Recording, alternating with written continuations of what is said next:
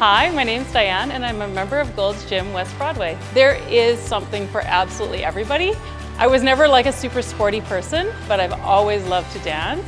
And so Zumba for me is one of the highlights. If you are a yogi, there's yoga. If you love to dance, there's Zumba. If you love to work out and do weights, there's HIIT. Trying new things in the group fitness environment is perfect because you have somebody there that can guide you through. I am at the stage now that I've learned a lot, and so I feel a lot more confident now, but I still love the group environment. The energy is amazing. I just love seeing the same faces. We have wonderful members. We work out together, we have fun together. The teachers have been really supportive.